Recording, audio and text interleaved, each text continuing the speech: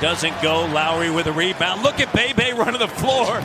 Wants something at the rim. Siakam at the rim. Wow, 10 point lead.